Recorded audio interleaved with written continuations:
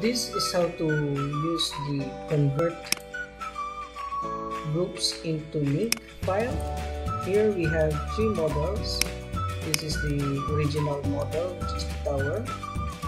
And the two behind is a group assembly of all these. First building we have grouped it together so it's much easier to copy and group them to the to copy them into another location. So did you know that in order to uh, lessen the files size? Once it is loaded in Revit we can actually use this group select this group and convert it into link so here we're going to select this group. And here we need to select the link. Convert the selected group to a link file. So let's select it here how do you want to convert the group? Replace with a new project. File save group as a new project then removes the group instance and replace with a link to the project. That already exists. Let's create a new. So you have to save it as a new project. Let's go to the our folder. So we don't have to. And we have a Revit folder here so we have the same file let's set this as group save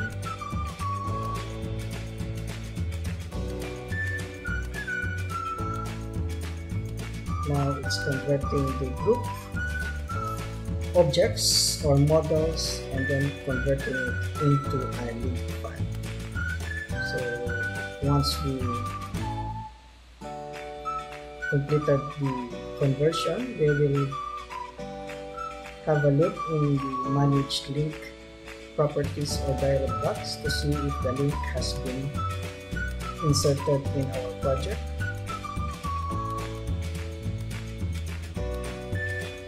Uh, I'm trying to convert it into link because the file size if I group the three buildings into one file, it will be uh, a huge file size for this project. So uh, basically when we have not first grouped it, so uh, I need to check the file size again and then let you know how much it reduces.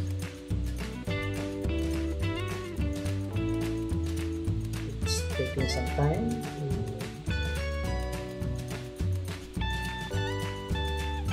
convert it so now as you can see it's a link file. While this one is still a group file.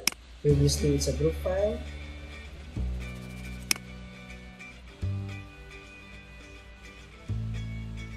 This is considered link and this is our original project now let's go to our insert manage link and here we have the link as group so we have successfully converted this group object and convert it into a link project file. Again let's select this one. Uh, let's go to the project file first and let's see how what is the file size. So we have some uh, idea how big is the file. It's about 59 or 60 MB so this is our project which we are working currently now. 30 50, 60 KB 60 MB so let's convert this to me and see how much file size we will reduce just by doing that particular changes or conversion. Let's set it as group 2 the first one is group 1 again we need to wait for it to convert. It may take a while.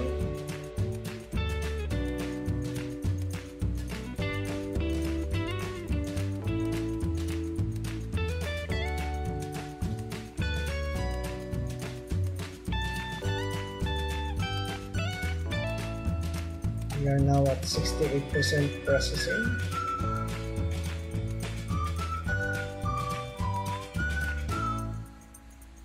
58%.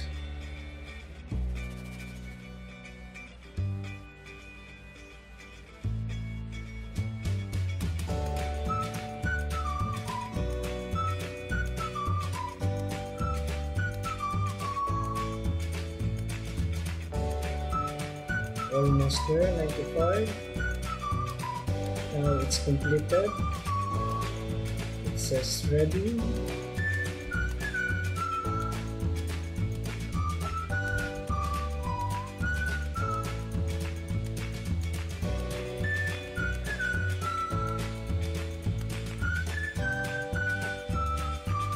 now we have the model where we have converted the two groups into links let's wait for it to complete. Uh, here you can see it's a group it's a link and then it's a link model so now let's save this.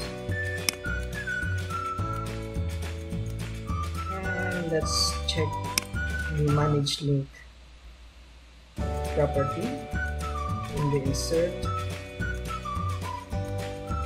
Manage link we have group 1 and group 2 okay now let's go to the file and let's see how much file size it has reduced just by converting that particular groups into project. So now from 59 the original is 59 or 60 it has gone down to about 30 MB so it's cut by half so that is how to reduce the file size project file size by converting groups object into link object